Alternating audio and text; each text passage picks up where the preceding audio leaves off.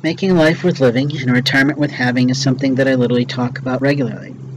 Marketing and minutes are something that I talk about sometimes with regard to how to handle programming and complaints and other things in terms of producing a life worth living and retirement worth having in our business practices. Magic and Mayhem are audio cast files talking about the realities of life. Lately, you've probably noticed that I'm talking a lot about police, and I'd like to tell you exactly why. You see, in my life, I had a lot of things get stolen from my home. I literally was trying to get help from local law enforcement, and they simply made me into a joke. The reason they made me into a joke is that they don't really take theft all that seriously because, in their mindset, it's hard to catch. Openly, it seemed pretty obvious to me who was taking my possessions was one of two categories of people. But capturing them was really difficult. I literally spent thousands of dollars, at least a thousand dollars, on trail cameras to try and catch the thieves doing their thing, as well as a security camera system that was supposed to capture people coming in and out of the home. It actually did not work exactly. I got prophetic wisdom to start sleeping in a different place to try and protect myself and was literally told to put on double pairs of pants to try and protect myself from physical harm in these situations. Unfortunately, it didn't work. You see, what happened was I literally woke up one morning and found that my legs had been shaved. For a man to have his legs shaved without his permission is really a violent sort of act. Literally, someone, what that really meant was that I was asleep while they shaved me. Now, I am not a super sound sleeper. I sleep soundly when I sleep, but I don't sleep so soundly that I wouldn't notice someone doing something to me, literally. The reality is that we live in a world of chemistry, where people can literally open your locked door, go into your home, Open your beverage containers that you produce that are bulk and literally put something in it to cause you to sleep. Melatonin is something my mother uses regularly to help herself sleep, and I think that's odd, but maybe she's missing my father being next to her, lying next to her in bed. I know for a long time after my life partner left, it was sort of hard to fall asleep. I literally had to put pillows where she had been in the past because I usually was bumping up to her in the middle of the night, and it was sort of comforting to have that little body next to you. But openly I'm telling you the truth about my life. The reason that I've been sort of been hard on police of late is because of the exorbitant amount of police that I've literally seen on my path for the past many years. It started about three years ago and it literally hasn't stopped and I really have a journal of all the data, of all that information. I literally could name every single plate as best that I can that literally has passed by me, crossed my path, or shown up in what seems like really oddly timed circumstances in multiple states within the Midwest. You see, literally, when a person in the sheriff's office marks you as something, it changes your life entirely. When someone violates your rights this way and your freedom of movement underneath federal law, it's really hard to prove it. In my life, I was literally getting tired of the constant theft. The local police were treating me like a joke because of comments my family had made on my mental health status and literally for the harassment and hazing they'd been doing to me. When I tried to get a police officer to listen, he was just trying to set me up for something else. The lies that police tell make me ill. And openly, that's what we're talking about the way that people lie when we try and do things that are right for us. When a person is right and another person is wrong, what happens? They literally have a discord. And in that discord, they have an opportune moment to say, listen, I made a mistake, or you've made a mistake, and we need to really talk this out. We need to do what I would call loving this out. We would need to really talk about why is this the way that this is.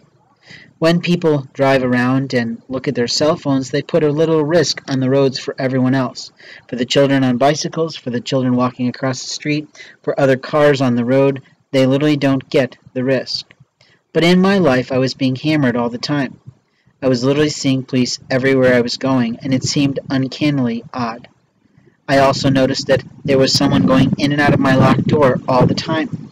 Every little possession that I put down, and I mean literally everything that I put down, seemed to be moved around, manhandled, fondled, touched by someone else, and unfortunately, we don't have fingerprint labs on every corner. We can't literally take something into a lab and say, here's the item that looks like it's been touched by someone else, Please produce a fingerprint off this item so that we know who's been in the house. Literally, I was not calling the maintenance people of my apartment complex to come in my home, and I have told them many times, do not enter my home when I am not here. It is my little right to tell them that. Whether or not they honor that right is really about the integrity of those men. I'm not going to go into that point, but my reality is that I literally went to a federal building to find some help. What ended up happening was I accidentally ended up tapping that federal agent's car with my car, and instead of the man getting out and saying, looks like everything's okay, is there something you were needing because you seemed awfully close to my vehicle? Instead, that that professional person, who I didn't know the name of, and I didn't know what kind of a person he was, could have been a secretary for all I know, pulled a gun on me. Literally pulled a gun on me, told me to back off, told me to do all sorts of things. He called security. The security came out, put me in handcuffs, literally tore every stitch of clothing and my items in my pockets off my personage, threw them all on the ground, almost breaking a camera that was a gift from my late father, and openly then shoved me into a, a, a situation where there was tons of IPD officers.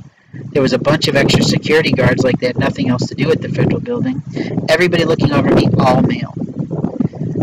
During that process of being held by the security guard in handcuffs and literally wrenching my arms through the whole process, which is sort of unnecessary because I wasn't trying to do anything illegal.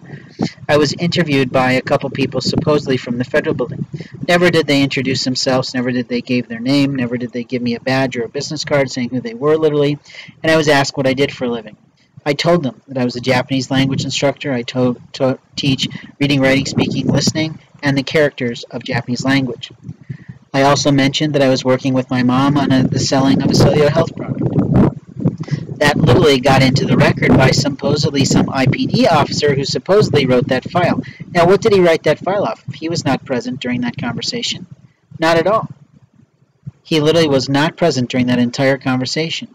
He literally got that information either from watching a videotape on the grounds or from talking to the federal people who came out to talk to me and to mark me unwell. They apparently and allegedly called one of my family members, as it so it seems, and I was later taken off to Eskenazi Hospital against my will, shoved into a room on a floor for a psychiatric ward, forced to go through a screening with a therapist who had no mental health rights in my life whatsoever. She told me that I was delusional. I got shoved back into a little room, locked by handcuffed by a black officer to a bed, and every time I needed to go to the bathroom, I would get locked with less chain than when I would wake up from being asleep. I found I had less chain between my bedpost where I was locked and my hand, making it incredibly difficult for me to kneel on the bed practically and to urinate into a cup that they wanted to check for urinalysis. The little nurse who was on duty named Ashley, who was probably late 20s, literally asked me some very inappropriate comfort comments on my life. She asked me whether or not I had a penis or a vagina, and she wanted to literally know so that when they put me in jail, they could have the appropriate officer interrogate me and literally pat me down. What ended up literally happening was that a female officer was assigned to get have me get buck naked literally in front of her. And in that process, she told me to bend over and she told me to cough. Now, I don't know about you, but as a man, I was offended that I had to do that as a lawful man underneath federal law, local law, Illinois state law, Indiana state law, and any other law that recognizes federal law making me a man, I found it beyond offensive that I had to be strip searched in front of a female officer. But more importantly, it was beyond offensive that that officer literally thought she'd play a game like it was a doctor's office, telling me to bend over and then literally telling me to cough. Now, is that really police procedure? I don't literally think so. I was then assigned uh, to be there for a few days, and I literally slept on a cold floor of an individualized cell because I did not want to be put in general population for my own health risk and my own physical risk, but also for the little risk of being associated with people who were doing things illegal. I did not want that association at all. They put me into a cell for a mental health patient as opposed to giving me a cell that had kind of a window with some breathing room. It was very difficult, and I literally slept on a cold floor of a cell where there was no seat, there was no bench or bed, and there was no blanket to sleep with. There was a toilet and a urinal. And they fed us food. Literally, it was the same food every single time a sandwich and some cookies. And even though I had said I was allergic to chocolate, they still seemed to give me chocolate cookies and some apple juice with God knows what in it. I slept the entire time I was there practically. I did sing a short while, some songs that I knew that were Christian just to literally help pass the time in my absolute boredom of listening to the derelicts in the cells next door solicit women in other cells nearby. I found it beyond offensive that officers would walk by and I would try and catch their attention to literally say, What's going on with my situation? and they would openly ignore me completely. They would parade people past looking through and lurching through the window of that cell.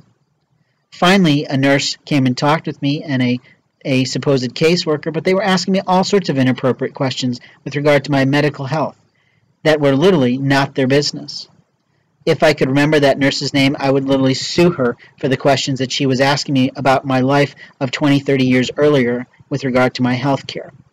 She literally put an illness into my hand without my permission, saying it was a requirement of the law of being in jail. I was not allowed to refuse that, and that illness has sort of destroyed my hands a little bit. Thankfully, there's a Lord God that is protecting me from some of the situation, and those hand marks are healing.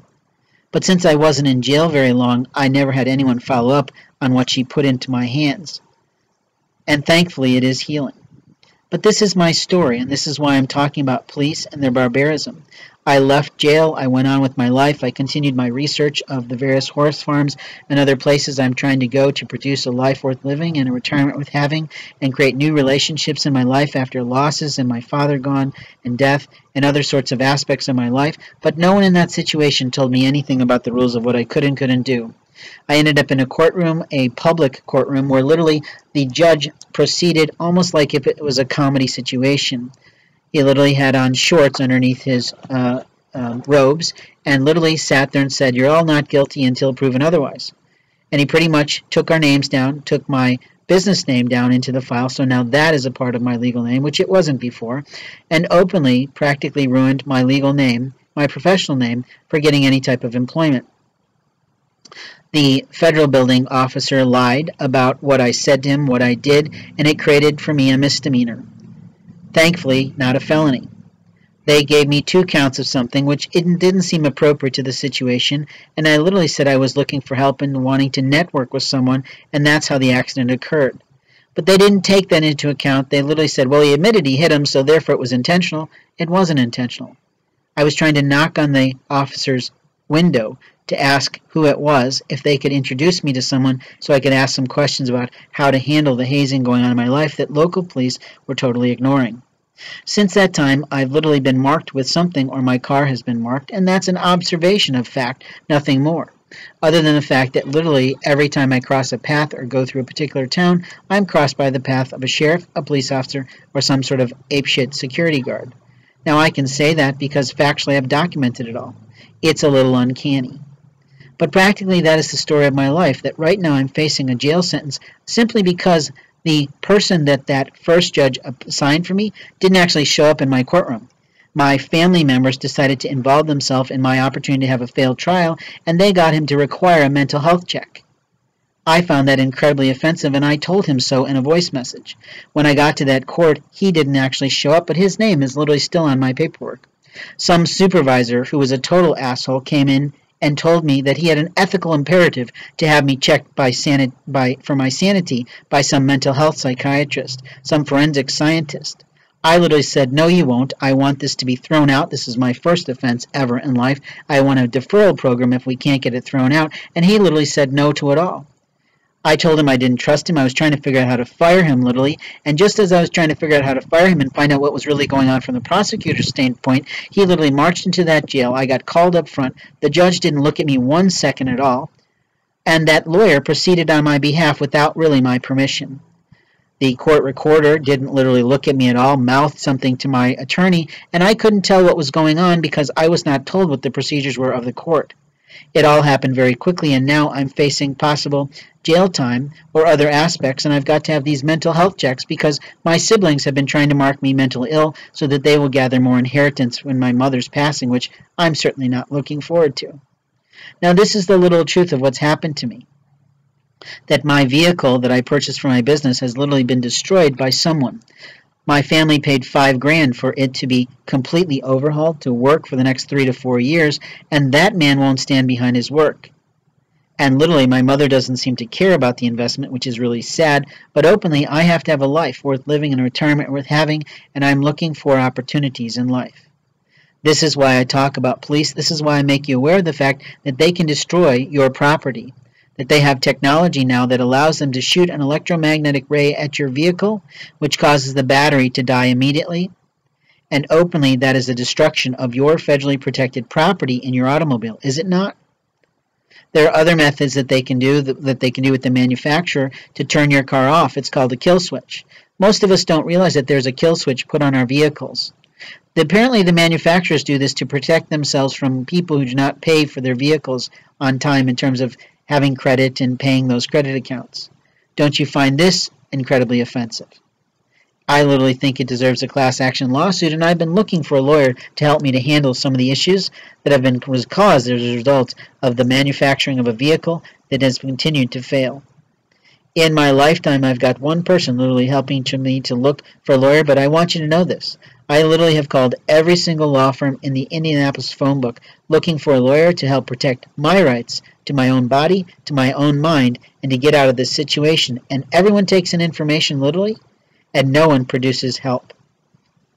I've got one firm that might take $1,500 of my money if I had it to produce for me a lawyer that would try to change the situation a little bit, but there's no way to prove that I'll get out of the situation. And frankly, I think it's an FBI marketing nightmare that that man had such fear in himself because I was trying to follow him to just ask a simple question. My mistake to think that he'd be open? Absolutely. My total mistake that I accidentally bumped into his car caused absolutely no damage to his vehicle whatsoever. But he literally pulled a gun on me when all he had to do was step out of the car and go, Gosh, it seems like you're needing something. What can I do to help you? Now, wouldn't that have been a better way to market the FBI in the Indianapolis community?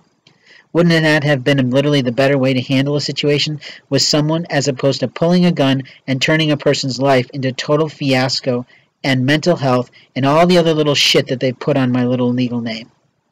But if I say that, then I'll likely get hit by them. Because they have the power in this world, don't they? They can destroy life or give life in a matter of seconds. That man has worked to destroy my life. He put people in my life that I would have never chosen to be in my life ever before. I've had my rights taken away from me completely in terms of my human rights of being able to choose my own physicians and choose my own care and to choose literally how I wanted that trial handled. It was not handled the way that I wanted it to, and openly no one told me how to figure out the procedures of the court enough to know how to get the judge and the person assigned to defend me to recuse themselves. That judge didn't look me in the eye one second. The woman judge who was supposed to be present was not there, and I got assigned to some other dipshit in place. Now I can say it like that because that's how it feels to me. It feels set up, it feels sabotage, and it feels like a religious right movement is trying to take away my little rights to be myself, and my family has to work really hard to damage my reputation. Now, this is literally what has happened to me. Why am I sharing this story? So that you'll understand why the mayhem stories are a lot more mayhem than magic right now so that you'll understand that I'm literally looking for a law firm that will represent my rights. My right to be free of this situation.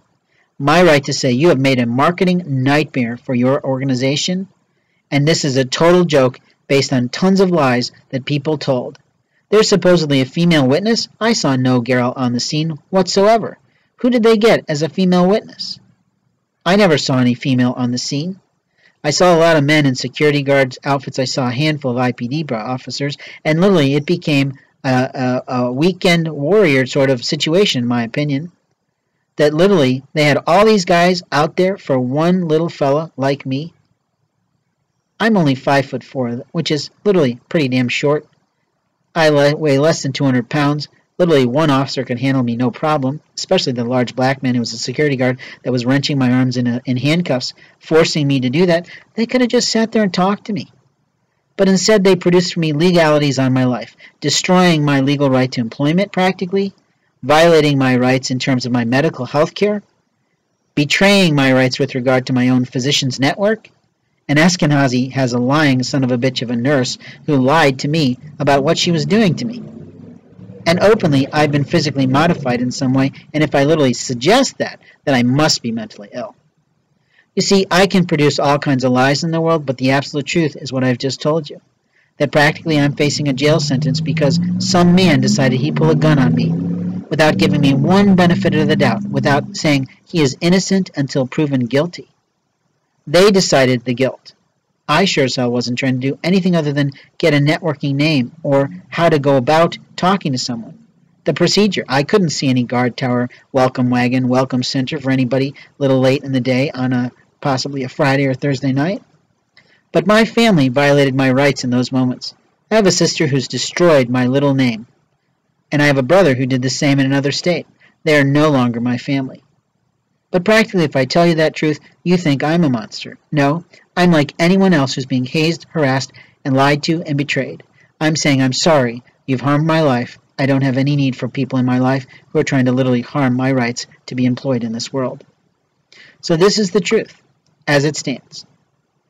This is Blake Ensign of Blaze Communications LLC looking for a lawyer who can help me with multiple facets of a lawsuit based on a humble budget of next to nothing. Class action must be where we get our money because that's the only way I'll be able to afford an attorney.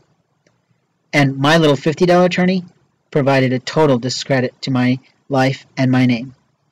He chose his ethics over my rights, which is a total violation of my federal right to have a fair proceedings in that situation. That is the absolute truth. Now, I'm telling you this story so you won't give me any crap for the things I put into my system of LinkedIn or any other social media channel talking about police and how they violate our federal rights, how they violate our human rights, and how their procedures might just need to be literally overhauled. But I'm a training person. I literally would have handled this so differently than they did. Because every moment of time for an organization is a marketing moment. And people in general need to remember that no matter what your profession, no matter what your career life, no matter what you serve, no matter what you sell, no matter what you're part of that overall process of creating a sale of a program, a product, or a person, that literally it's always marketing moments. Once again, this has been Blake Ensign of Blaze Communications LLC telling you the little truth about my life. And if you know a lawyer who can help me, who won't charge me a million dollars, which I don't have, I'd really appreciate the help. Thanks for listening.